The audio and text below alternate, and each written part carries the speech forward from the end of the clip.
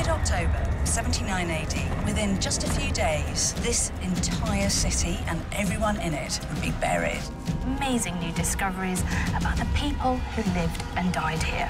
Women and children, just at the moment when they took their final breath. 48 hodin, které zničily město a uchovali tamní způsob života. Pompeje, blížící se katastrofa. Od neděle 16. září na Viasat History.